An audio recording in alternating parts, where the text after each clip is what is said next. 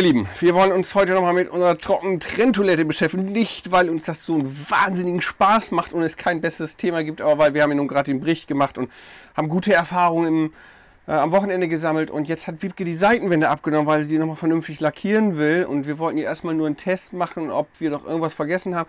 Also das heißt, wir haben heute eine gute Gelegenheit, da nochmal einen Einblick zu nehmen.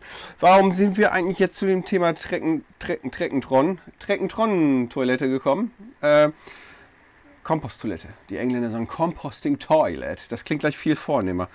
Ähm, ja, also wir hatten diese Kassettentoilette und mit äh, vier Personen, viermal anderthalb Liter, ne, das sind äh, sechs Liter, bis zu acht Liter. Da war das Ding immer total schnell voll. Und wir haben es nie für feste Stoffwechselendprodukte genutzt, aber wenn man dann doch mal in Frankreich irgendwo am Strand steht oder in Schottland und das ist so schöner Platz, man möchte da nicht weg, dann ist das schon schön und das hat uns nicht behagt mit so einer Toiletten, mit so einer Kassettentoilette und deswegen, ja, sind wir so drauf gekommen, ja. Dann haben wir uns die fertigen Dinge angeguckt, entweder, um es kurz zu fassen, zu breit oder da ist dann so ein kleines süßes Fläschchen von 7 Liter drunter und das ist jetzt überhaupt nicht das, was wir uns vorgestellt haben. Äh, dann hätten wir auch bei der Kassettentoilette bleiben können. Also musste was her, was für unsere Bedürfnisse das Richtige ist. Also ran ans Werk selbst gemacht. Haben wir so einen schönen Einsatz gefunden, der auch optisch schön aussieht. Andere Toiletten haben uns überhaupt nicht gefallen. Ist so, ja, sieht irgendwie aus wie aus so einem öffentlichen Klo irgendwie. Das war echt nicht unsers. Also es sollte, wir haben hier eine relativ schicke Wohnung hier und so sollte es also im Komfortbereich dann auch sein, ja. So, und deswegen haben wir uns dazu entschlossen, keine Buddel zu nehmen, sondern einen großen Kanister Firma Hühnersdorf hat so einen schicken, großen 20 Liter Kanister in Rot mit einem, ist sehr dickwandig, was uns sehr zugute kam, weil wir ja auch noch Sachen rangeschraubt haben, erzähle ich gleich. Und ähm, ja, da haben wir so eine Pipi-Pipeline unten gebaut. Um das zu vernünftig zu erklären, will ich euch das mal eben aufmalen. Ne? So, geht los. Pass mal auf. Ist ganz cool, ist sowas wie ein Whiteboard zum Aufkleben kommt so aus dem taktischen Bereich, wenn die Feuerwehr was bespricht, dann ballern die das ans Auto und dann können die loslegen. Also pass auf, wir haben erstmal unseren bewährten Ständerbau sozusagen favorisiert. Hier ist unser Boden. Ist jetzt nur schematisiert, so Schemazeichnung. Ja, und dann kam da so ein Trennaufsatz hinauf. So, Bisher noch nichts Spektakuläres. Spektakulär wird es, wenn wir uns vorstellen, dass wir hier einen Hilfsrahmen haben und hier unten drunter ist ein Hauptrahmen vom LKW. Dieser ist absoluter Tabubereich, da darf man nicht bohren, sonst geht die Betriebserlaubnis auch flöten.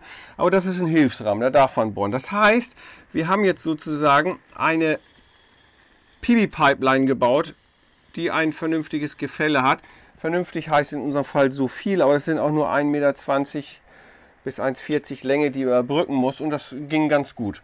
So, von da aus sind wir dann durch den Boden rauf, dann kam da ein 3 4 Zoll Fitting drauf, äh, der sozusagen den Übergang schafft von dem Rohr auf ein zölliges System. Dann kam da eine Tülle drauf mit rechten Winkel. So, und das erste, was wir machen wollten, dass wir das direkt hier festmachen. Schön dicken Schlauch, verjüngen auf ein kleines Maß und dann wäre das irgendwie so geendet. So.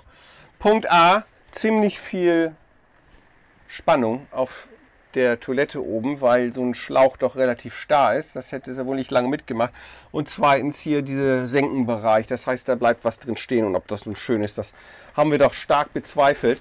Also musste eine andere Lösung her. Ähm, wo haben wir denn hier was zum Wegwischen? Hier. Dieses starre Konstrukt also weg. So, und dann haben wir zufälligerweise ein DN50 Endstück für KG-Rohre gefunden mit einer Tülle. Muss man sich also so vorstellen, so und so. Zack, zack, Tülle drauf, hier unten und dann kommt da der Schlauch drauf mit 2 cm. Total coole Geschichte, kostet irgendwie keine 3 Euro. Also ein Brett hier montiert, so, wo diese Tülle integriert ist, festgemacht ist mit der Schlauchtülle und der geht jetzt auf kürzesten Weg direkt da rein.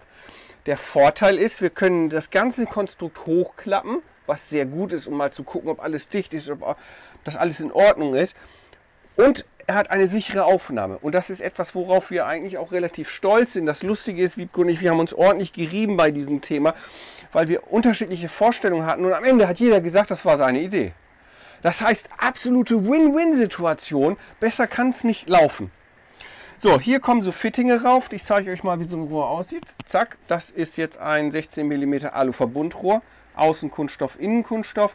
Wichtig, weil das ja Harnstoff ist. Das ist Harnsäure. Säure sagt alles. Säure und Metall mögen sich nicht so gern. Hier ist viel Kunststoff. Da kommen solche Schraubfittinge drauf und damit kommt man das so realisieren. Und so ein Schraubfitting kommt dann zum Beispiel hier auch aufs Ende. Dann kommt da drauf eine Gardena-Kupplung und hier sitzt dann unser schöner roter Kanister. Und dann geht der mit dem Schlauch, zack, hier rein und pütschert da so runter. Hier oben haben wir noch ein kleines Entlüftungsventil draufgesetzt, damit das vernünftig pütschern kann. Und falls das mal überläuft, dann haben wir die Soße nicht hier oben drin stehen, sondern sie wird am Kanister runterlaufen lassen. Aber bitte, bevor jetzt die Kommentare kommen, wir sind da sehr gewissenhaft. Wir geben gar nichts einfach so in die Natur, auch wenn man es könnte. Ist ja ein natürliches Produkt, aber es ist nicht unser Stil. Ähm, das ist nur hauptsächlich, nee, nicht nur, also es ist hauptsächlich zur Entlüftung und im absoluten Notfall würde es darüber pütschern, falls wir mal vergessen haben zu entleeren. Ja, und das ist so im Prinzip unsere schematische Zeichnung. Und jetzt nehme ich euch noch einmal mit in die Toilette. Ist übrigens alles sauber, keine Angst. Ja, ähm, und zeige euch mal, wie das so aussieht, bevor jetzt die Seitenwände wieder rankommen. Mitkommen! Ähm, hier seht ihr im Prinzip den Aufbau. Das heißt, vorne dieses ähm, dicke Rohr, was hier zu sehen ist, das hat nichts zu sagen. Das ist von der Aldeheizung, das bringt warme Luft raus, hat mit der Trockentrenntoilette nichts zu tun.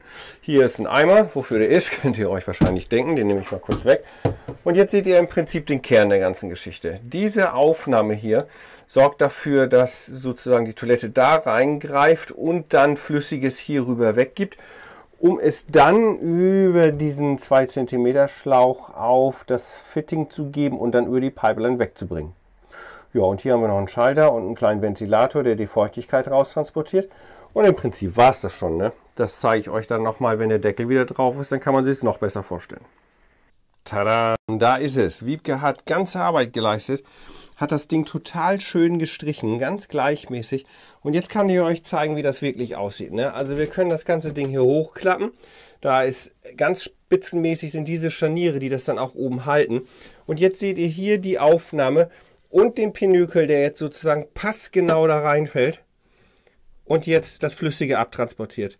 Und das ist es eigentlich. Das ist unser schönes Klo. Schön, sagt man schön. Es ist unser Klo. Und was mir sehr gut gefällt, wir haben so einen Toilettendeckel, der nicht so zuknallt, sondern very smooth sich schließt. So, bevor ich euch gleich den Tank zeige, zeige ich euch nochmal die Serviceklappe. Da hatten wir ja sehr viel Wert drauf gelegt, dass wir sozusagen die Entsorgung von außen vornehmen können. Also haben wir jetzt hier erstmal so ein Lüftungsgitter. Auf dieser Seite ist der Ventilator. Ja, und dann steht da der Eimer drin. Und den kann man relativ leicht rausnehmen und muss damit dann nicht durchs ganze Wohnmobil tapern. Coole Sache, finde ich. Einen kleinen Schwenk zu unserem außenliegenden Kanister. Den wollte ich ja auch gerne zeigen. Hier sieht man das ganz gut. Also hier oben ist der Ablauf, da kommt das Ganze raus, läuft in den Kanister. Hier unten wieder gelöst und dann kann man das Ganze wegnehmen und das funktioniert ganz hervorragend. So ihr Guten, waren die Neuigkeiten aus dem spannenden Bereich Trocken, Trenntoilette, TTT oder anders gesagt, wie werde ich zum Toilettentieftaucher.